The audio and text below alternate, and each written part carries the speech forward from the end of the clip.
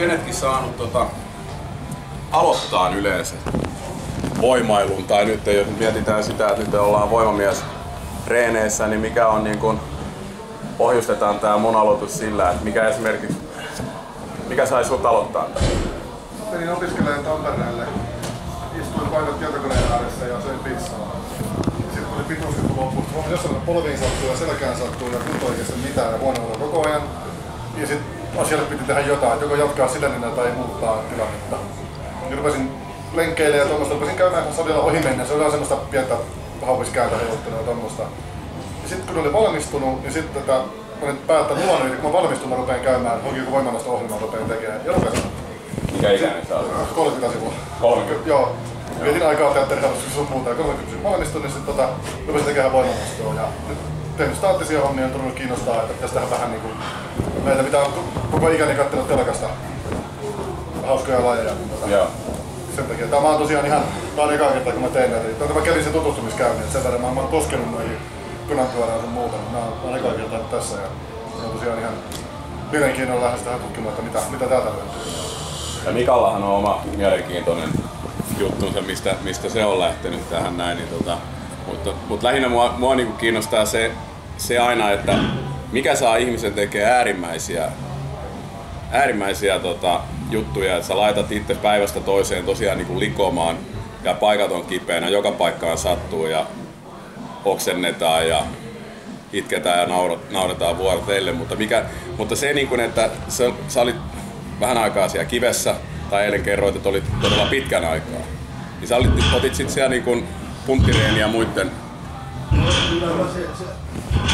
Siellä on ainut, niin semmoinen, että sä voit olla sitä päätä, niin käy salilla. Miten Salilla ja urheilla, pelata sählyä, kaikkea pallopelejä ja muuta. Mut Sulla tuli aika äärimmäistä kuitenkin, jos ajatellaan, että sä oot neljä vuotta nyt ollut huivilla. Ja sä oot saavuttanut jo semmoisen, mitä aika harva suomalainen on saavuttanut tai tulee saavuttamaan, niin tota, sulla on ollut valtavan hyvät pohjat sit ylipäätänsä niin kuin jo voimataso, kun sä oot sieltä päässyt pois. Joo, siis no ne 11 vuotta mitä on ollut kiinni, niin mä oon pääsääntöisesti niin reenannut.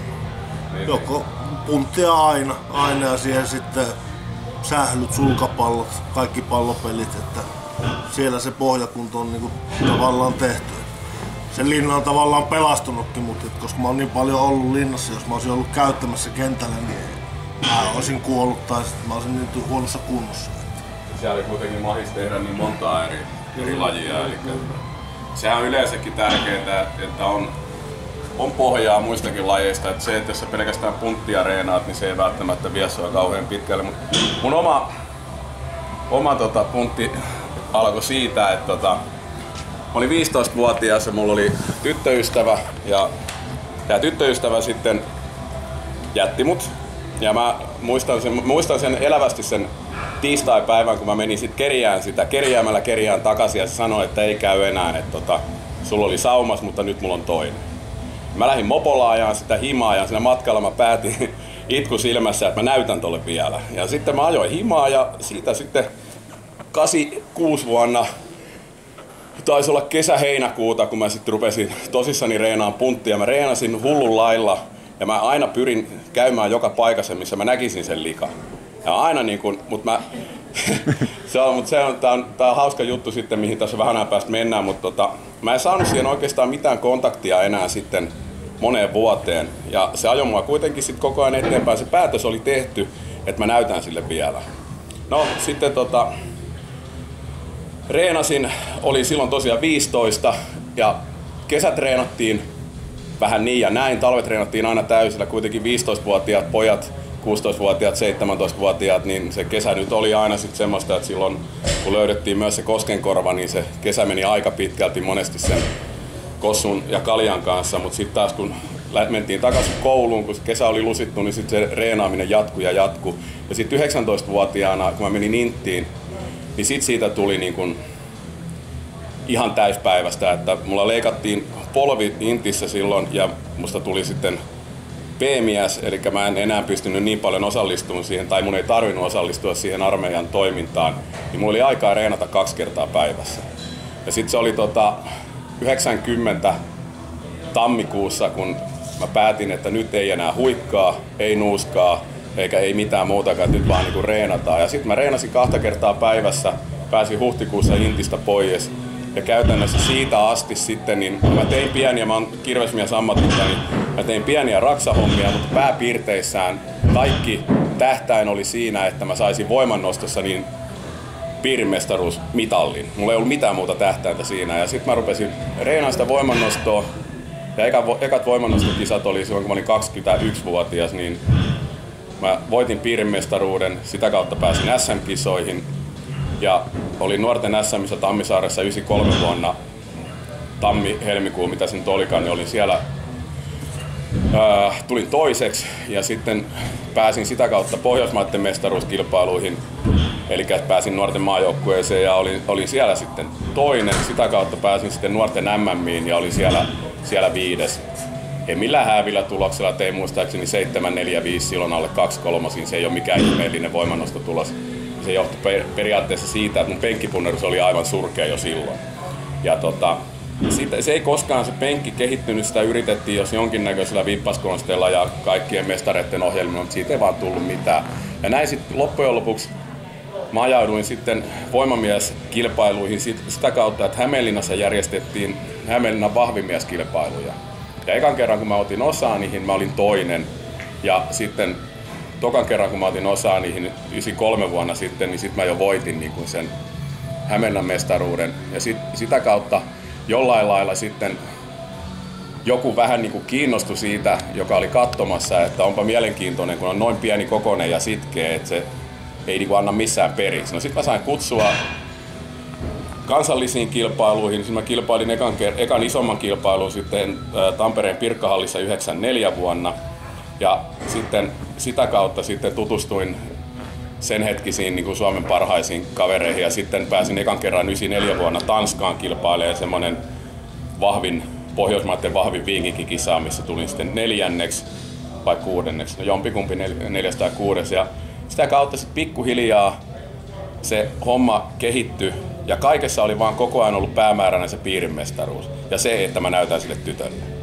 Ja, ja se, mikä, mitä mä pidän niin kuin tärkeänä, mihin mä tässä niin kuin tähtään, että kaikilla meillä tai teillä Mulla nyt ei enää niinkään, koska mä en enää niin kuin mihinkään tähtää, mutta kaikilla pitää olla se joku juttu, minkä takia.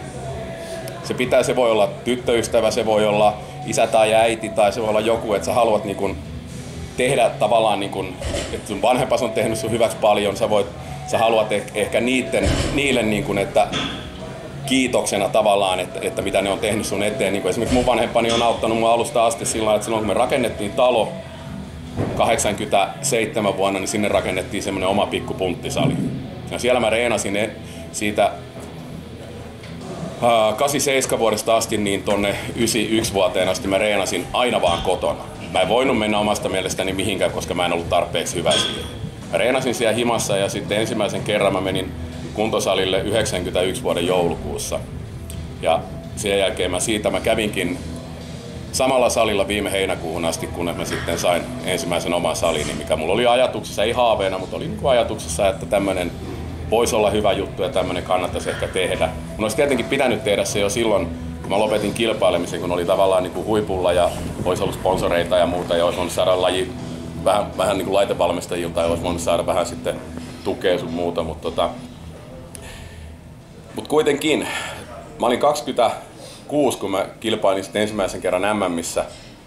Voitin, voitin SM-kisat 97, 96 vuonna olin toinen, hävisin rekavedossa Ojanaho, Ojanaho Jorma muistaakseni, voittiko se laji vai oliko se kolmas. Ja mä hävisin 90 siinä rekavedossa ja hävisin siinä kuusi sijaa.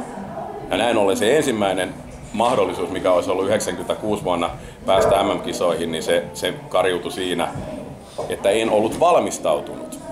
En ollut vaan niin kuin treenannut. Sen jälkeen mä päätin, että semmoista lajia ei koskaan, ikinä, milloinkaan voi olla, mihin mä en olisi valmistautunut. Mä rakensin kaiken, mitä voi niin kuin rakentaa ja sitten tota, se kuntokeiras, missä mä kävin reenaamassa, niin siinä oli semmoinen vanha Centrumin parkkihalli, niin kuntokeitaan omistaja, sen aikainen omistaja sitten niin vuokras sieltä Veritakselta, joka muistaakseni silloin oli siinä kiinteistön omistajana, niin se vuokrasi sieltä neljä ylimääräistä parkkiruutua, mihin me rakennettiin sitten jätkien kanssa kaikki mahdolliset voimamiesvälineet. Ihan kaikki. Siellä oli konanit ja siellä oli voimaportaat, siellä oli, oli kivet ja kaikki. Kaikki me tehtiin porukalla. Joko tehtiin niin kuin yhdessä tai sitten mä tein, mä tein niitä paljon itseksenikin, koska mulla oli aikaa. Mulla oli silloin jo jonkun verran sponsoreita, koska mä olin ensimmäinen, ensimmäinen suomalainen, joka niin kuin menestyi. No totta kai Kiri menestyi, menestyi mutta se ei, se ei lyönyt itteensä läpitte. Ja syy, minkä takia Kiristä ei tullut maailman parasta, oli se, että se ei koskaan panostanut siihen lajiharjoitteluun. Ja se on kaiken ajan. Ei siitä, se, on ihan, se oli ehdottomasti salivahvi, mitä Suomessa on, oli silloin ja mitä varmaan koskaan tulee olemaan. Mutta se, että olet tiedä lajeista ja olet panostanut niihin, se on hirveän loukkaantumisaltis tilanne. Niin kuin Rikullakin se loukkaantui yleensä aina.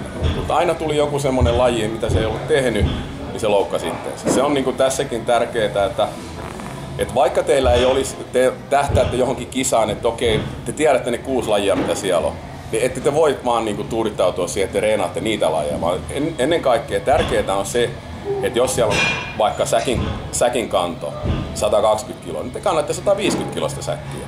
Jos siellä on auton kanto, niin te oikeasti kannatte autoa.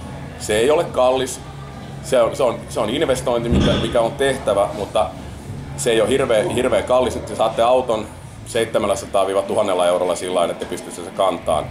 Se, miten mä lähdin itse siihen, niin mä otin, se, silloin oli semmoinen pankki kuin STS-pankki, ja minä otin 7000 markan lainan silloin. Meidän äiti ja mun äiti ja veli takas sen lainan, isälle ei kerrottu, koska se ei olisi tykännyt siitä, että, että rahaa käytetään semmoiseen. Se kerrottiin sitten, muistaakseni se kerrottiin sille pari-kolme vuotta sitten. Ja se laina otettiin 25 vuotta sitten, suurin piirtein, siitä on näin kauan aika. Mutta kuitenkin niin tota, se mitä tässä äsken jonkun kanssa keskusteltiin, että kun sali, missä käy reenaamassa, niin ne ei ole ollut halukkaita järjestää jotain, niin se pitää järjestää itse. Se on vaan tehtävä ja se on yksinkertainen juttu, että sä, sä teet sen itse, sä hankit joko sitten niin kuin äsken sanoin, sanoin siitä, että varsinkin teidän naisten, se on hirveän helppo. Te voitte sanoa, että hei, että mä oon menossa SM-kisoihin tai mä oon menossa johonkin kisoihin, että voitaisiko laittaa teidän tota, logo mun T-paitaa, että saatte näky- näkyvyyttä vaikka paikallislehdessä. Se on ihan sama. Kun te menette jonnekin paikalliseen metallifirmaan, niin se on aivan varma, että te saatte sieltä tuommoisen akselin pätkän, mitä te voitte punnertaa. Se, että niiden ei tarvitse antaa rahaa, niin se on niille se on ihan kuin kultakaivos semmoiselle firmalle. Että menette sinne, mä, mä tarvin tuommoisen akselin, ne kaivaa se vaikka romukopasta. Mutta se, että se uhraus on itse tehtävä ja se kannattaa. Ja tota, no, mennään siihen, siihen tyttöasiaan sen verran vielä sitten, että sitten mä tapasin tämän saman naisen 2000, muistaakseni 2003 vai 2004 vuonna sitten ravintolassa ja, ja tota, oltiin nähty edellisen kerran tosiaan silloin sen likan makuuhuoneessa 86 vuonna kesällä. Ja sitten tavattiin ja mä sitten kerroin sille sen jutun ja tota, se vaan sanoi sitten, että juu, että todellakin, todellakin näytit. Että se on seurannut kyllä sitä, mutta se oli mielenkiintoista, että asuttiin samassa kaupungissa viiden kilometrin päässä toisistamme. Te ei ollut tavattu kertaankaan koko aika. Mutta tota, no, sitten jos mennään, mennään siihen, että mikä taas sitten ajoi mut lopettaa sen lajin, niin, niin tota, Mä tosiaan 97 vuonna kilpailin ensimmäisen kerran ja sitten silloin oli jo suunnitteilla semmoisella tuottajalla, Losissa asuvalla tuottajalla, että se haluaisi tehdä isosedästään elokuvan ja tämä isosetä oli semmoinen Sigmund Breitbart, puolajuutalainen voimamies, joka on oikeasti tehnyt voimamies näytöksiä ynnä muita vastaavia niin 1900-luvun, 1930-luvun tota, New Yorkissa.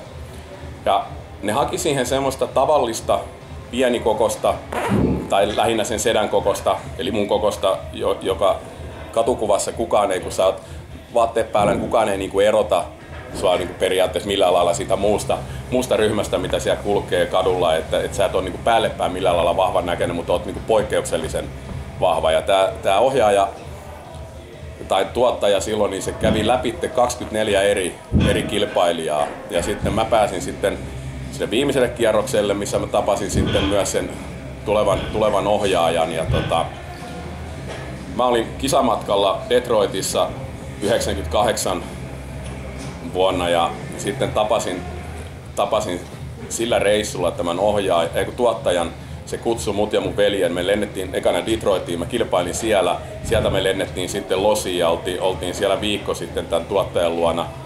Ja kuvausten piti alkaa jo sitten seuraa niin kuin 99 vuonna, mutta sitten ne karjutui ne kuvaukset ja sitten ne sanoi mulle, että, että kilpaile vielä vuosi. Ja näin ollen mä sitten kisasin sen 99 vuoden vielä ja, ja onnistuin voittaa sen, mikä mulla oli, mulla oli aina se tavoite, että mun on pakko voittaa se toisen, tai niin kuin kerran vielä, koska 97 vuonna sanottiin, että mä voitin sen säkällä sen takia, kun siellä ei ollut finaalissa kirjaa ja Magnus ja näitä, jotka tietenkin olivat pyrkimässä finaaliin, mutta karsiutuu, mutta eihän sitä kukaan välittänyt. Että, mutta kuitenkin sanottiin, että se oli säkää ja sitten seuraava vuosi oli sitten 98, milloin mä karsiudun, en, en karsiutunut, vaan sitten hävisin sen kiven kannon ratkaisevasti, missä sitten meni se mestaruus ja ruotsalainen voitti. Se oli mulle semmoinen pettymys, että mä en niin vuoteen ajatellut mitään. Aina ensimmäisenä aamuna, kun mä heräsin, niin mä aina ajattelin, että mun on pakko voittaa vielä kerran se. Ja sitten se ajoi mua eteenpäin myös se, että kuvaukset ei alkanut ja sitten se tyhmä, tyhmä virhe, mikä kostautui sitten siellä Marokossa, niin sitten 9, vuonna, kun mä voitin sen kilpailun, niin tota, silloin mä päätin, se oli 18. päivä 9.99, mä muistan kaikki päivämäärät aina, aina niin tarkkaan niin kuin tommoset, mitkä on rat, ollut isoja ratkaisevia asioita elämässä, niin mä päätin, että tämä on tässä, ei ikinä enää. No sitten se kuvaus, kuvaukset alkoi alko sitten vihdoin viimein öö, maaliskuussa 2000 ja siitä sitten alkoi oikeastaan se, se tota, mikä, mikä on periaatteessa aika harvinainen tilanne, että sä voit päästä tuommoisesta tommosesta lähtökohdista, että, että, että sä oot päättänyt näyttää jollekin, että musta tulee vielä jotain. Ja sitä kautta mä pääsin sitten, mä olin todella onnekaskin, onnekaskin siinä, että ne haki silloin siihen sitä näyttelijää, mä sain sen roolin, sen jälkeen mä, mä sain niitä useita useita rooleja sitten aina vuoteen 2017 asti, mikä jälkeen niitä ei ole enää ollut, en ole niihin sillä lailla. Se on, mä oon vähän, mä oon vähän semmonen, en ole mikään niin kuin julkisuudesta millään lailla nauti tai millään lailla esillä olemisesta, niin tota, se, sitten, se sitten jäi. Ja, ja sitten Hannan kanssa päätettiin sitten, että yritetään tämä salihomma saada tota alkuun. Ja ruvettiin jo 2017 hankittiin yksi paikka, mihin ruvettiin rakentamaan. Sit salia, tehtiin viisi 5 vai 6 kuukautta sitä. Ja sitten juuri kun piti aloittaa sisätyöt, niin sieltä paljastui sitten, että siellä on sädessiäni, eli todella paha home, homeongelma ja, ja sitten se viisi kuukautta meni hukkaan ja aika paljon rahaa. Ja sitten 2018, niin helmi, ei kun maaliskuussa mä löysin tämän tilan sitten ja 2000 2018 huhtikuussa mä pääsin sitten rakentamaan niin kuin tätä tosissaan. Mä tulin tähän tilaan, täällä oli, oli betonilattia, täällä ei ollut mitään. Ei viemäreitä, tänne ei tullut vettä, täällä ei ollut periaatteessa, no sähköt oli sillä, että täällä oli jonkunnäköiset valot. Ja sitten tää, tätä ruvettiin tekemään ja saatiin tää nyt sitten tämän vuoden tammikuussa valmiiksi. Ja sitten Jukka ideoi, että pidetään tämmönen leiri ja tässä, tässä nyt sitten ollaan, mutta, mutta tota, tosiaan palatakseni myös siihen, siihen valmistautumiseen edelleen sitten näihin kilpailujuttuihin, niin silloin kun mä ensimmäisen kerran kilpailin tosiaan siellä, mistä sä puhuitkin siitä, että sä, eikö sä sanonut, että siellä YouTubessa on se Joo, Tampereen kyllä. niin silloin oli jollain lailla oli keksittävä, että miten mä pystyn jotain auton kaatoa tai jotain reenaamaan. Niin mä menin paikalliselle romuttamolle ja mä menin kysyyn niiltä romuttamon pitäjiltä, että saanko mä kaataa auton ne oli ihmeissään ne äijät, se oli, se oli tammikuuta ja, ja pakkasta oli paljon, on turkishaalari päällä ja paksut rukkaiset, niin mä kysyin, että, voi, että löytyykö teiltä joku auto, mikä voi kaataa ja äijät sanoi sitten, että, että millä lailla kaataa. Mä sanoin, sitten kerroin sen, että tämmöiset kilpailut on ja on, on, on, tulossa ja muuta. Ja ne sanoi, että asia selvä. Ne järkkäsit siellä, niin ne teki lumityöt ja nosti siihen jonkun Corollan rihneen sitten, missä ei ollut moottoria. Ja siellä oli yleisönä mulla kaksi romuttamon ukkoa, ukkoa katsomassa, kun mä mä juoksen sit aina olkapää edellä autoa ja kippaan sitä kyljelle ja sitten takaisin. Ja monta, monta tuntia häärättiin sen kanssa. Ja, tota, ja, ja, ja no, sitten, sitten toinen tarina siitä, että kun on päätetty, että johonkin kisaan valmistaudutaan ja joku, joku laji tehdään, niin se oli sitten meidän vanhempien takapihalle, niin rakennettiin semmoinen seinän yli heitto teline, mikä on ollut yksi mun hirveä, hirveä heikkous niissä lajeissa tai oli, oli niin tota, ei sitä nyt huippua kehittynyt ikinä, mutta semmoinen, että mä olin keskikastia olin sitten siinä lajissa, niin tota, me te, aloitettiin tekemään sitä isän kanssa ja sitten siinä oli pari kaveria me saatiin se kolmelta valmiiksi. Ja mä, mä tein sitten vanerista semmoisen 25 kilon laatikon ja mä olin päättänyt, että mä 4 metriä 60 senttiä heitän sinä päivänä. Mä aloitin kolmelta heittämään sitä. 11 illalla se meni yli. Ne kaverit, jotka siinä oli mun kanssa sitten, niin yksi niistä sammu ja kaksi oli jo ympäri päissään sitten kysyi, että voisiko joku vihdoin viimein heittää, heittää heidät ravintolaan. Et nämä on niinku ju, juuri näitä, että et, et se oli asia, mikä se oli päätetty ja se tosiaan niin, se oli tehtävä. Ja sitten se, että miss, missä se niinku, myös niinku oikein hyvin kulminoituu se, että päätös oli tehty, että, että se mitalli saadaan sieltä kisoista, niin mä olin, toimin armeijan jälkeen silloin niin rukkikuskina tämmöisellä Vanajan myllyllä. Roudasin jauhoa, jauhoja tuli sitten pakkauskoneelta ja ne, se kone automaattisesti pakkasi ne lavalle. Sen jälkeen mä ajoin sillä rukilla siihen, siihen tota, ja nostin sen lavan, lavan siihen rukin kyytiin ja lähdin kuljettamaan sitä sitten sinne halliin. Mutta siinä matkalla oli hissin vastapainoja. Niitä on, ne oli semmoisia 50-kilosia metallisia palikoita, mitkä on niin hissin vastapainoja. Niin mä ajoin siitä ohitte. Ja joka kerta kun mä ajoin ohitte siitä, mä hyppäsin rukista pois ja aina punnersin sen suorille käsille. Sitten mä vein seuraavan lavan, ja taas kun mä ajoin ohitte siihen, niin mä laitoin niitä päällekkäin. Ja sitten mä nostin niitä, vedin niitä niin kuin maasta. Ja, tota, nää oli, ja, ja sitten, sitten kun mä toimin kirvesmiehenä, niin joka kerta kun kannettiin kyproklevyä, moni tietää varmaan, että kyproklevystä tehdään seiniä. Että on, se on seinälevy tai vanerilevy. Niin siinäkin oli aina se, että aina mahdollisimman monta kerralla. Ja yleensä se sitten sillä että ne kaksi levyä tai kolme levyä ja näin kiinni niistä ja niitä piti, yritettiin kuljettaa tällä. Et, et kaikki tähtäs aina, kaikki asiat mitkä tehtiin, tehtiin aina vaikeimman kautta. Voi kuulostaa hullulta, mutta kuitenkin se niin kun, justiin se puristusvoima, mitä mä oon niin peräänkuuluttanut ja on aina kaikille sanonut, niin se on yksi tärkeimmistä asioista, mitä, mitä tässä lajissa pitää olla. Ja Luvalla sanoen sanon, että se oli tällä porukalla erittäin huono, että siihen tehdään on pakko pistää, pistää niin tehdä sen eteen, eteen tosiaan vielä paljon. paljon tota.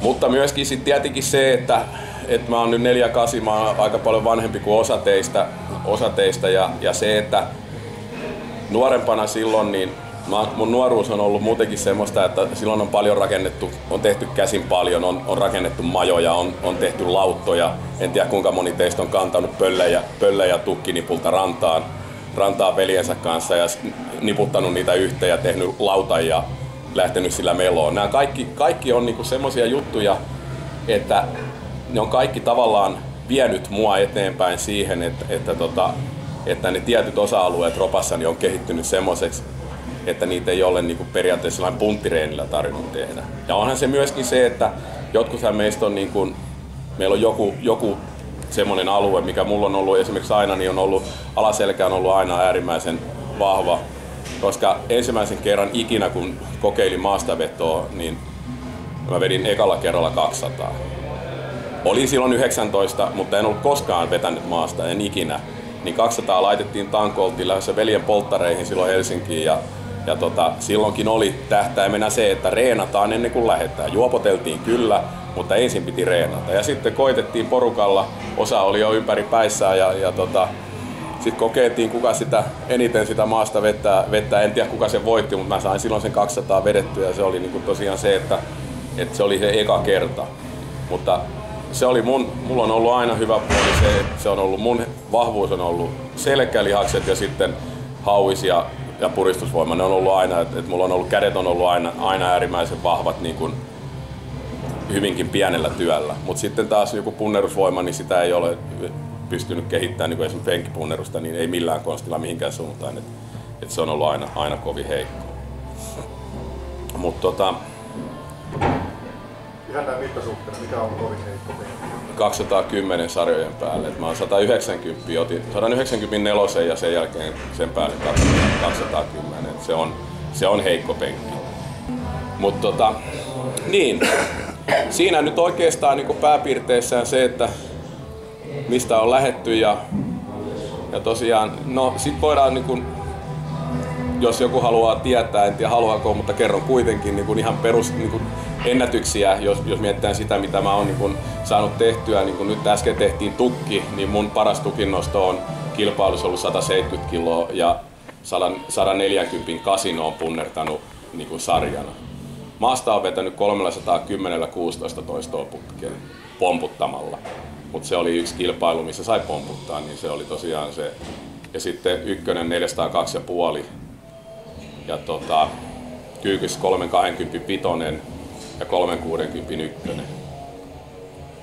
Ja 215 kilon pyöreän kiveen on nostanut tynnyrin päälle. Ja, ja, ja mitäs muuta?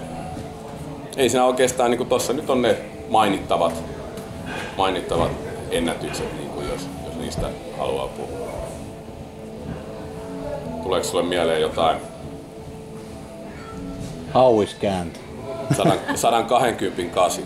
Ei kun korjaan kymppi, 120 kymppi. Mutta siis se on, että siinä, sekin on yksi hyvä apuliike pyöreille kiville. Ja se on ollut niin armotonta vippaamista, että siinä on melkein takaraivo koskenut lattiaa. Mutta kun ei sillä ole mitään väliä, että se on vaan pääasia, että se nousee. Niin tota. Ja ja, jos muuta. Mutta enemmän mua niinku tietenkin kiinnostaa se, että mitä te, mitä te haluatte tietää tai kysyä, niin jos jotain... Meille kisaa valmistautuminen, minkälainen ateriointi ja miten sä valmistaudut? No joo, silloin niinä aikoina niin lisäravinteethan on ollut, mulla oli Great Body oli sponsorina ja mulla on ollut aina valtava ongelma se, että mä olin todella kevyt. Mä kilpailin silloin eka, eka MM, niin mä painoin 116,6 oli mun kisapaino. Ja, tota, ja, ja mä yritin sitä saada sitä painoa nousee. Mä tein esimerkiksi joka aamu semmoisen pirtelön, missä oli, mulla oli kahdeksan litran ämpäri, mihin mä laitoin 10 kananmunaa, sitten litran jogurttipurkin hedelmäpommin sinne, sitten laitoin tota, neljä desiä kermaa, maitoa ja, ja sitten kuusi banaania. Ne tehosekottimella sekasin ja sitten mä jaoin ne tommosiin litran purkkeihin. Mä aina pitkin päivää sitten aterioiden välissä join sen. Mä yritin sillä kermaa, ajattelin, että sillä kermalla mun paino nousee. No se oli 97, kun mä painoin sen 116,6 ja 99 mä painoin sitten 119,5. Et siinä on niin kuin korkein paino, mitä mun paino on, missä se on ikinä ollut. Noin mitä tuo lukee, painot ja pituudet on ihan paskaa. En mä tiedä kuka ne on tonne laittanut tonne, että mä oon painanut välillä 102 ja muuta. Ne ei pidä paikkaansa. Sitten siihen ennen, ennen, no joo, se, se Great Body tosiaan, niin se, että sittenhän oli näitä tuhannen kalorin fruitpunsseja, näitä tämmöisiä jotain hedelmäpommi, kirsikka, paskaa. Ne oli, ne oli tosiaan se siinä pienessä 500 millin purkissa niin, tai pullossa, niin sanottiin olevan tuhat kaloria. Mulla oli aika paljon silloin erilaisia näytöksiä, näytösjuttuja ja muuta pitkin Suomea ja, ja mä tota, aina sitten otin semmoisen pullon mukaan sitten, mä ajattelin, että mä sen juon ja mä kun olin päässyt suurin piirtein Hämeenlinnasta Hyvinkäälle, niin maha oli niin kuralla kuin olla ja voi, että nehän oli niinku semmoista paskaa silloin ne lisäravinteet, eihän ne, eihän ne sisällä pysynyt ja sitten oli, mal, oli maltoa ja oli, oli soija juttuja sun muuta. Mutta se, että kisapäivänä esimerkiksi, niin mä en syönyt koskaan mitään. Et se aamupala, mikä oli, mitä mä tosi jollekin sanoinkin esimerkiksi, niin 97 vuoden kisojen aamupala, niin se oli 5 tai 6 croissanttia. Semmoista ihan, ihan pieniä, semmoisia mitä nyt hotellissa tarjotaan. Koska mulla oli esimerkiksi ruok- ruokahalu, se oli täysin, se oli, mä, jännit, mä jännitin niin paljon. Mä esimerkiksi pelasin nuorena jääkiekkoa, mä olin tos, todella hyvä maalivahti. Mä olin varmasti yksi ikäluokkani parhaita koko maailmassa silloin, kun mä, mutta niin kuin reeneissä.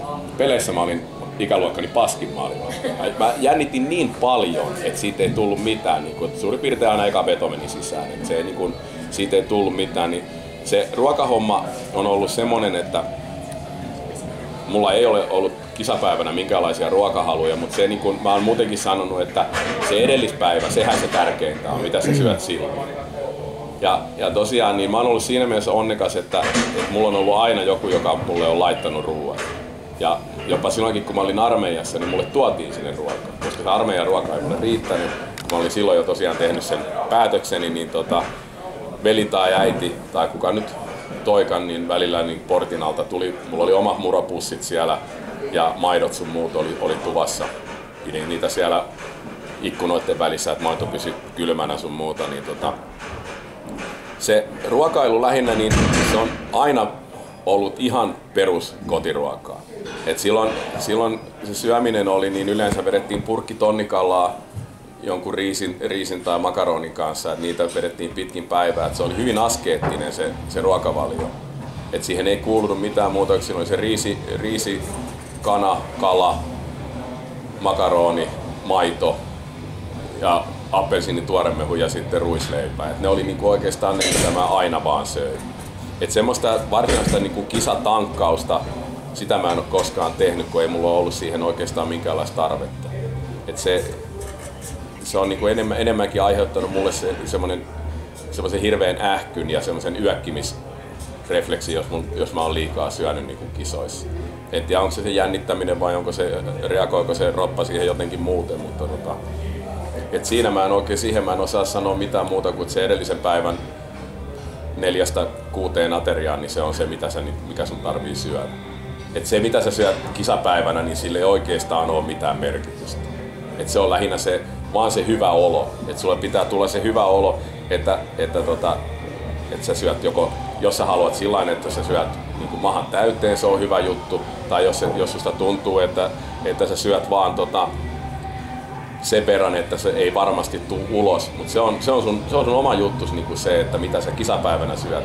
Mutta se, että mä en usko siihen energian saamiseen, koska ne, ne tosiaan ne lisäravinteet, mitä silloin on ollut, niin ne ei, ei ole ollut semmosia, ei ollut oikeastaan muuta sitä soijaa ja maltoa, niin kuin, että, tai ei ainakaan silloin kukaan tiedä. Et, että tänä päivänäkin niin se, että aika vähän tulee noita palautusjuomia tai jotain latureita. Mä en ole koskaan niihin uskonut. Et musta ei ikinä tule esimerkiksi semmoista hyvää, hyvää tota, millekään, tai ei, ei olisi tullut millekään lisäravinne firmalle mitään hyvää sponsoroitavaa, kun en mä, en mä niinku pysty sanoa kellekään, että, juu, että, nää on, niinku, että näitä sä tarvit. Kun mä mun mielestä ei tarvi. Että valitettavasti tohon en oikein voi sanoa sen kummemmin. Ei kisaa sitten, kun se kisakin voi tehdä kuusi tuntia. Ei. Se, Sitä smoothieta, mitä. Ei, no ei se, se, oli pelkästään vaan, se oli vaan sitä tankkausta silloin niin kuin reeni-aikana. Mutta mut siis silloinkin, jos ajatellaan esimerkiksi tosiaan, noihan oli pitkiä kisa, kisarupeamia, mitä oli, oli tuolla maailmallakin, niin kun ne TVtä varten tehtiin, niin siellä meillä oli sitä Gatoradea ja kaikkea muuta, mitä ne tarjosi. Ne toi sit sinne semmoisen niin paketin, siellä oli, oli välillä Snickersia, oli välillä Twixi, Twixin niitä patukoita ja sitten kolmioleipää ynnä muuta tämmöistä. Että joku niitä söi ja joku ei syönyt, mutta ei siinä niinku, se on, se on niin, ainakin mulle se on niin äärimmäinen se, se tilanne ja se jännitys, että ei, ei, mulla ole, niinku, ei mulla minkäänlaista ruokahalua sen päivän aikana, eikä mä tunne oloani väsyneen siihen. Et se on niinku se, se lataus on semmoinen siihen tilanteeseen, kun mä, mä aina vaan kilpailin voittaakseni. Mulla oli ihan sama, mihin menin. Meninkö mä vaikka, vaikka mä olin Ylitornion maitolaiturilla kilpailemassa, mikä oli yksi semmoinen kilpailu siellä, niin ei mua, mä ei kiinnostanut mikään muu mä voitin. Mä olin kuulemma aika, aika tylsä, tylsä siinä mielessä, että mä en lähtenyt, mä en lähtenyt illalla juopottelee, kun muut lähti. Eli Ruka, Rukalla oli kilpailut, Rukan vahvimmieskilpailut, niin tota, joskus silloin 90-luvun puolessa välissä. Niin mä otin senkin niin tosissani, että, että mä, mä, menin, mä jäin sinne, kun jätkät lähti vetää rinneravintolaan pöhnän illalla. Mä olin yksin siellä kopissa ja odotin sitä, että kisa alkoi. Mä voitin sen kisan, ei mulla ollut mitään muuta merkitystä. Yksi ainoa kerta on, mutta silloin mä olin jo lopettanut kilpailemisen, niin mä sain joskus päähäni, että mä haluan nostaa painavimman kiven, mitä kukaan on, pyöreän kiven, mitä kukaan on nostanut. Ja tota, mä teetin Sodankylän betonivalimossa kiven, joka painoi 215 kiloa. Mä nostin sen sitten tynnyrin päälle sen kiven ja sain sitten semmoisen itselleni semmoisen tittelin, että mulla on maailman pa- painavimman kivennosto hallussa. Ja sitten tota, tuolla oli Unkarissa oli unkarilainen kivennostaja Laslo Fekete tai kilp- yleensäkin voimamies, niin, niin tota, kuuli sitten siitä, koska se oli niin kuin siihen asti ollut, sitä pidettiin maailman parhaana kivennostajana. Laslo sitten kutsui mut sitten Unkariin, Unkariin. Siellä oli, oli voimamieskisat samaan aikaan, mutta ne kutsui mut nimenomaan sinne tuomariksi ja vei mut sitten sinne betonivalimoon, missä ne oli sitten palannut kiven, mikä painoi 227 kiloa. Ja mä olin sitten paikan päällä, kun se punnittiin. Ne juotti mut niin kännin sillä reissulla, että, tota, että se on ainoa, ainoa milloin mä oon niinku langennut, mutta silloin mä en enää itse kisannut. Mä olin vaan tuomarina, mutta oli, oli, olihan päivä tuomaroida sen pöhnän jälkeen. mutta tosiaan niin se, oli, se on ainoa, ainoa kerta, kun on hör, hörpitty.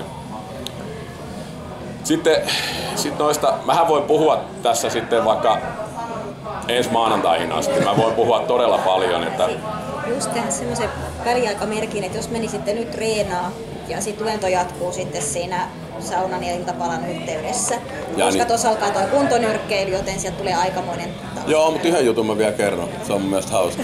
Tai onks, onks jotain, mitä te haluaisitte nyt kysyä tässä välissä? Nopea kyssäri, tota, mitä sä tekisit treenien suhteen eri lailla, jos olisi nyt mahdollista mennä ajasta taaksepäin? En mitään. Et mitään. Ei.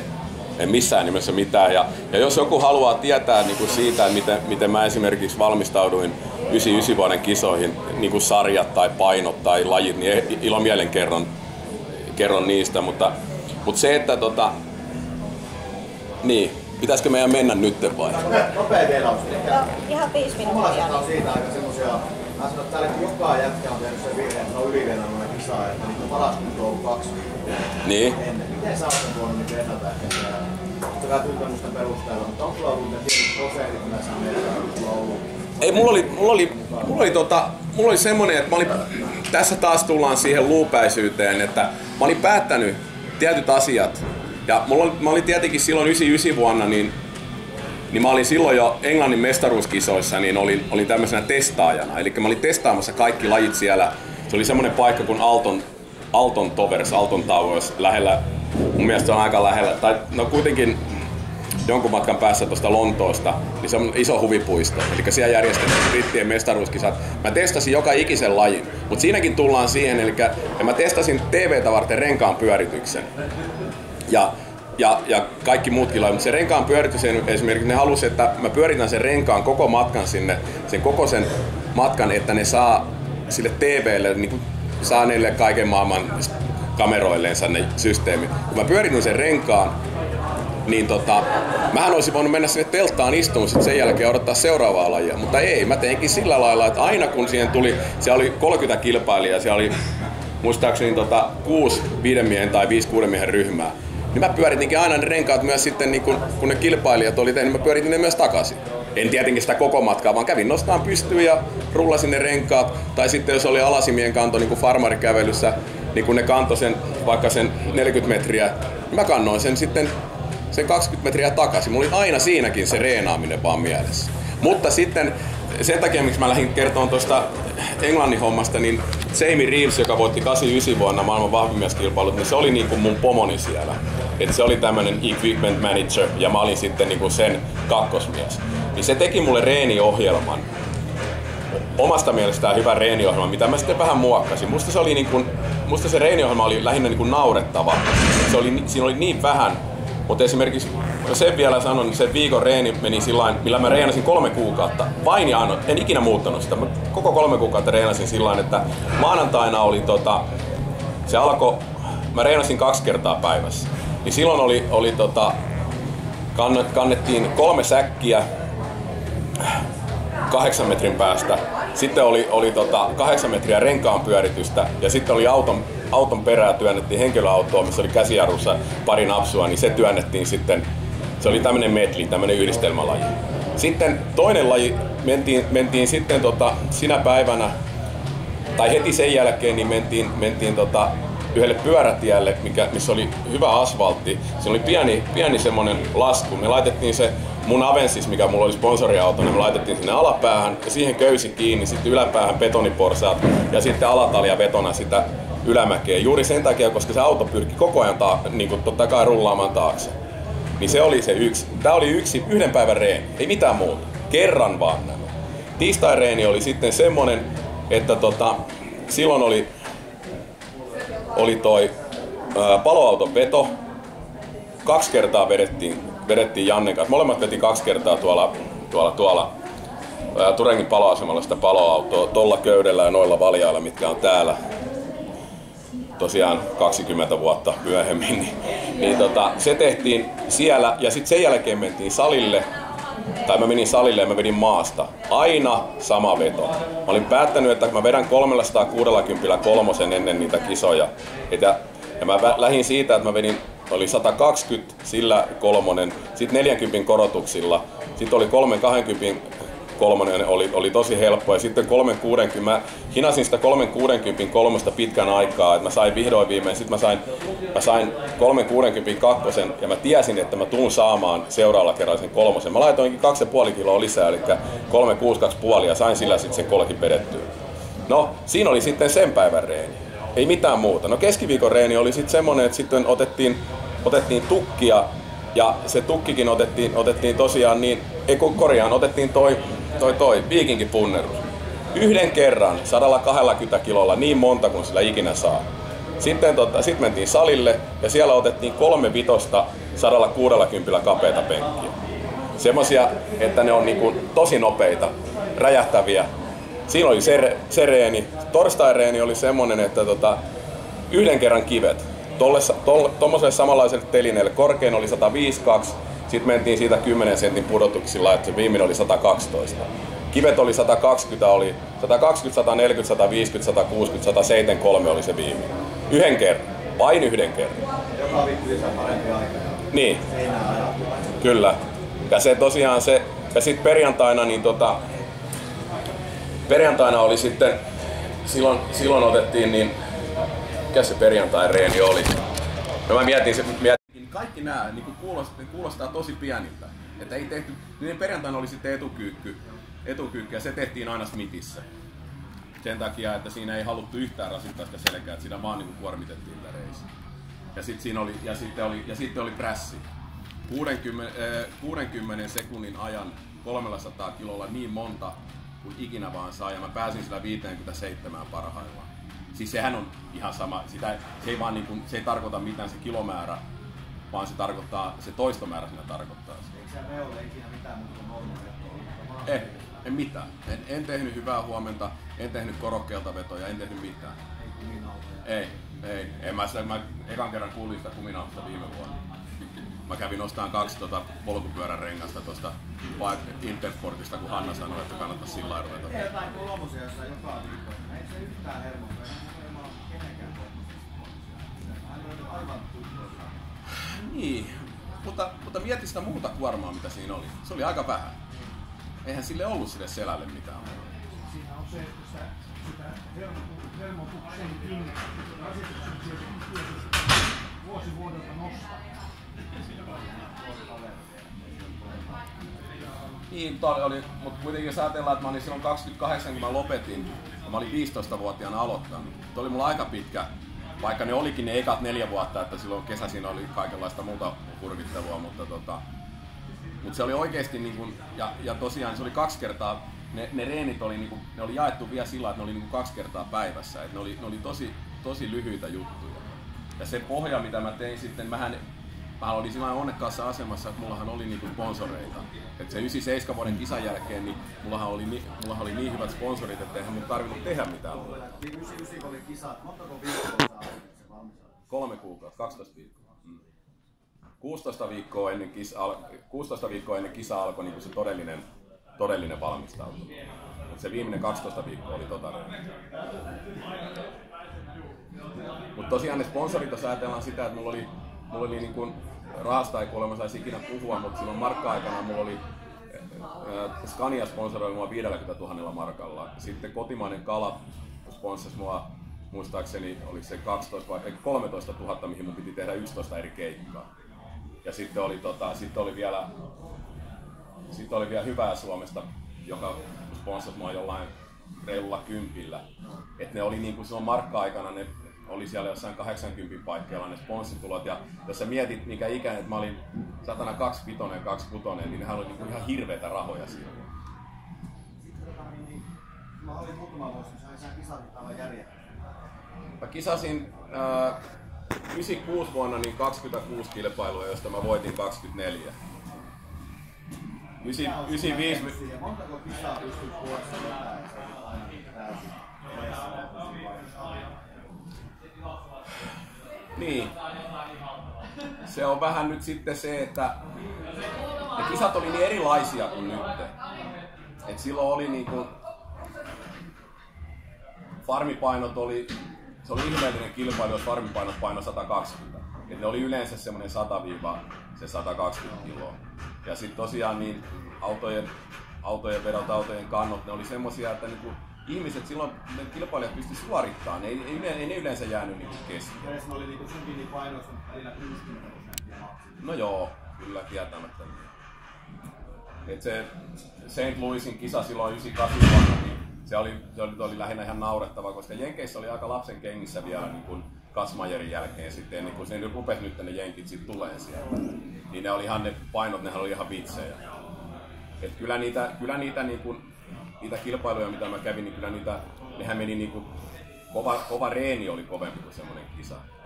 Et ei saisi olla, en, enkä ole missään nimessä ylimielinen, mutta olin mä, niin kuin, olin mä niissä kisoissa niin ylivoimainen, että, että silloin kun Riksahan ei käynyt, käynyt missään, Kiri käynyt missään kisoissa.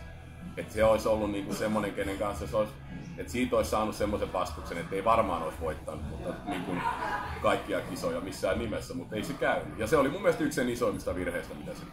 En missään nimessä arvostan äijää äärimmäisesti, enkä puhu siitä mitään pahaa maailmassa, mutta siis se, että...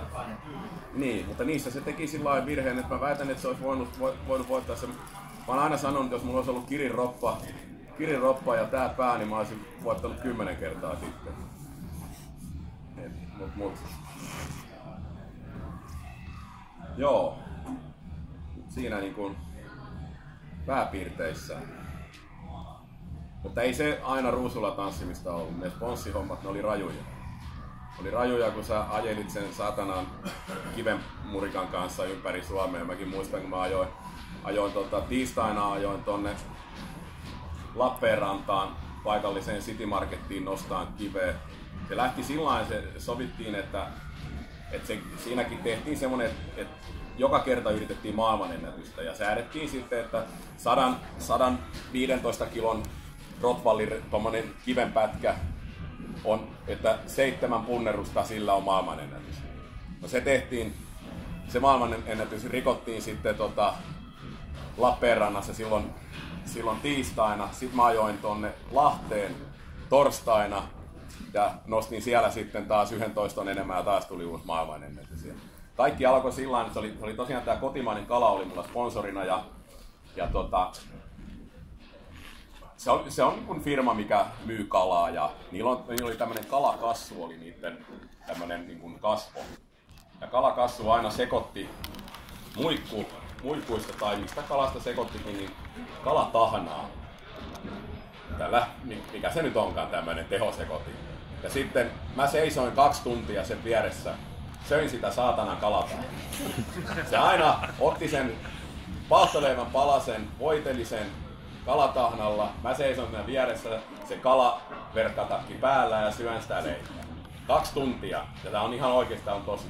Ja, ja tota, siinä oli sitten, ihmiset sai kysellä ja sitten se aina huipentui siihen maailmanennätykseen.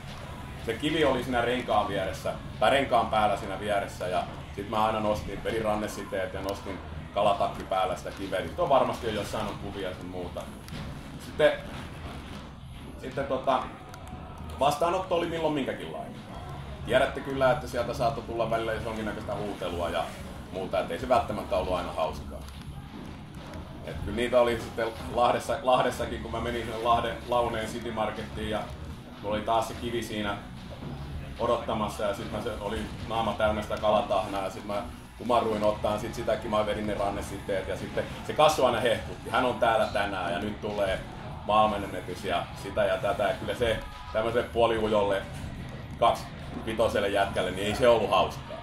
Sitten mä otin sen kiven, kumarruin ottaa sitä kiveä ja sieltä tuli se vanha mummo, joka on kulkenut sitä reittiä vuosikaudet siinä samassa City Marketissa, kun mä olin sen reitillä. Mä muistan aina sen, se kumartui muhun päin tällä näin. Mä olin sen kiven kanssa kumartu, mä katsoin tällä ylös ja sanoin, me vittuun siitä. sano, sano se mummo ja hei se oli oikeesti, se oli lähempänä sataa. Mä en olisi uskonut, että kuulen sitä sanaa sen suusta ikinä. Turussa oli kaikista kauhean, mä en muista edes, se oli, se mä oon aina halunnut unohtaa, se vasta, siellä ne niinku, ne oli kai saanut nummistosta ja Suomenvirrasta tarpeekseen, niin siellä niinku, siellä vittuutiin ihan niinku tuella. Sitten tää on viimeinen sit aloittaa, tää on, tää on yksi semmonen juttu, mikä mikä, mitä mun kaveri, jota mä harvoin näen, mutta aina kun mä näen sen, niin se aina kertoo tämän, ja varsinkin jos on porukkaa mukana. Ollaan tulossa Osalan Oskun kanssa, osa varmaan Oskun tuntee ja tietää, niin Ruotsin mestaruuskisoista 96 vuonna ei ollut silloin vielä Ruotsissa kovin isossa huudossa voimamieslajit, niin me ollaan siellä niin kuin näyttämässä. Kinnusen Ile ja minä ja sitten että Osku lähdetään, ajetaan vanhalla pienellä hiasella Hämeenlinnasta, ne tulee hakemaan, mutta ajetaan, me ollaan kaikki kolme siinä, mä oon tietenkin keskellä kun mä oon pieni. Ne 240 kilosta jättiä siinä vielä, me ajetaan Ruotsiin. Koko saatana matka mennään lautalla ylitte kyllä, mutta sitten me ajettiin sinne jonnekin pitkälle. Meillä oli se takaosa täynnä niitä pyöreitä kiviä, kun ruotsalaisilla ei ollut. Ja no, sitten kuitenkin paluumatkalla kun tullaan, niin me tavattiin siinä sitten Oskun kanssa oltiin tota, baaritiskillä siinä juomassa limua ja kun ei ollut muuta päivä lautta vielä, ei ollut mitään tekemistä. Niin sitten siinä semmonen herra herrasmies, liikemies, niin rupesi kyselemään mitä miehiä. Ja mä sitten sanoin, että ollaan voimamiehiä ylpeänä siinä nuorena voimamiehenä. Ja sitten sanoin, että jaa, että hänellä on tämmöinen kauppa Vääksyssä, että, että tulisitko esiin. Mä että voin mä tulla, että se oli aika, aika jurissa ja tota, oli, oli tota, lauantai, lauantai päivä ja sitten mä mä sit sanoin sille, että mikä juttu siellä. Ei, että tuut vaan sinne. Että mä sanoin, että no soita sitten, kun oot selvinpäin. Että, että kyllä mä tuun, mutta sovitaan sitten tarkemmin. Se soittaa mulle sitten maanantaina, että tuukko huomenna. Mä sanoin, että voin mä tulla ja sitten se kysyi, kysyi multa, että mitä se maksaa. Ja mä sanoin, että, että esiintymistä saa aina tuhat taalaa. Ja silloin sai. Tuhan, tuhannen taalaa sai, sai näytöksistä. Ja sitten se kysyi, että mitä se on niin kuin Suomen rahassa. Mä sanoin, tonnia. Se on asia selvä. Oletta tää. Joo, että tuu vaan. No minä sitten lähden saatana, mulla on pyöreä. Ja sit se kysy, mä kysyin, että mitä sä haluat mä teen? Että ei se väliä, tuu, että tee jotain. No mä otin sitten pyöreän kiven, mulla oli silloin semmonen keltainen Audi 80 ja se oli semmoinen vähän sporttimalli, niin, tota, kun ei ollut mitään, niin mä nostin sen pyöreän kiven siihen takapenkille, vedin sen turvavyön kiinni ja lähdin ajaa kohti Vääksyä. Ajoin Vääksyyn sitten ja tota, sain sen osoitteen ja ajattelin, että mikä helvetin paikka tämä. Se oli Vääksyn tori, niin siinä oli semmoinen ihan pieni pieni kauppa, semmoinen kauppakeskus tai semmoinen, siinä oli pieni kauppa, niin sekatavarakauppa. Äijä istuu siinä, sekata, siinä kassan takana. Ja sitten mä kysyin, että, että mitä se niinku haluat, että meet tuohon ulos ja, ja mä sanoin, että mulla on kivi, että mitä mä teen. Mene siihen ulos ja nosta sitä kiveä aina kun joku tulee. Se löi mulle kuusi tonnia käteen. Mä menen siihen, mä laitan ne taskuun ja mä menen siihen ulos sitten sen kiven kanssa ja tää Järvensurun Jani, mun kaveri, kaveri lähti mun mukaan sit, kun sillä ei ollut mitään tekemistä, niin se tuli mun mukaan. Me ollaan sitten siinä Vääksyn torilla tiistaina vesisateessa. Ei ketään missä. Ei ketään. No sitten tulee tota, me vaan seistä möllötetään siinä, niin sitten tulee tuossa 11-12 välissä, niin tulee semmonen ryhmä koululaisia. No kaksi opettajaa ja kaksi luokkaa. Ne tulee sitten sieltä sitten ja mä seison sen pyöreän kiven kanssa siinä täysin autiolla torilla. Ja sitten kysyy, niin kuin, ne opettajat kysyy, että, että vähän niin kuin tästä mitä, mitä, mikä meni. Mä sanoin, että, että mä oon voimamies. mä nostan tätä kiveä, kiveä aina kun joku tulee. Ja sanon, että no, se sanoi, että no nosta. Ja sitten mä nostin sitä muutaman kerran tuohon pyöreitä kiveä, se oli sadan kilon kivi tuohon olkapäälle ja takaisin ja laskin sen siihen maahan. Ja kaikki katto sillä niin Sitten yksi semmoinen ylipainoinen, reilusti ylipainoinen poika kysyi, että opettaja, opettaja. Sitten opettaja kysyi, mitä? Saako voimamiestä lyödä? Niin opettaja sanoi, että saa, kunhan ensin kysyy luvan. Sitten tota, tää jätkä ottaa sellainen neljän viiden askeleen ja tulee se nyrkki ojossa, lyö niin paljon kuin lähtee. Mulla on semmonen riipus, mikä Jan, Virtasen Jannella näkyy noissa kisoissa, semmonen kultainen riipus. Se oli mulla silloin se riipus ja mä myin sen sitten Jannelle. Mutta kuitenkin se riipus on mulla rinnassa. Se tulee ja lyö, se on siellä paidan alla, se tulee ja vetää täysillä siihen. Ja Ja sitten hirveä itku, se putoaa polvilleen ja sitä sattuu ihan saatanasti käteen. Ja ne opettajat katsoo mua kuin murhamiestä. Ja sen jälkeen se koko ryhmä lähtee menemään. No Piinuhan nauraa katketakseen siinä, kuset housut nauraa siinä vieressä ja tota, no ei siinä. Sitten jäädään edelleen, odotetaan vielä vähän aikaa siinä ja sitten tulee kaksi äijää sieltä. Ja taas, että, että mitä te tässä, no, että voimamies ja nostan tätä kiveä ja sitten ne kysyivät, mitä se painaa. Mä sanoin, että 100 vai 110 kiloa. Sanoin, että eihän paina. Mä sanoin, painaa. Niin kuin ekana sanoi, että nostaa ja sitten ne kysyi sen painaa. Mä sanoin, että joo, että sen verran painaa, ei painaa. Sitten se yritti se äijä nostaa sitä, eikä saanut ylös. Ja sitten loppujen lopuksi mä sanoin, että nyt tää paska riitti. Mä nostin sen kiven autoon ja sitten lähettiin. Ää, ei ikinä enää. Tämmöisiä näitä oli siis niin kuin, näitä oli niin paljon kuin näitä olisi halunnut vaan tehdä. Rahaa tuli, mutta oli se paska olisi niinku ihan, mutta mä muistan aina, että saako voimamiestä lyödä? Saa. niin. Mut kysyykö se lupaa? Ei, se tuli Ei, vaan. se vaan tuli niin. niin. Mut kyllä näitä, mutta, mutta se, että toihan on sit, eihän nää enää nykyään niinku onnistuisi. Eikä samalla lailla niinku se Schwarzeneggerikan juttu enää nykyään onnistuisi. Et eihän tommosia ole, mutta oli aika ainutlaatuisia juttuja ja hauskoja, hauskoja hommia.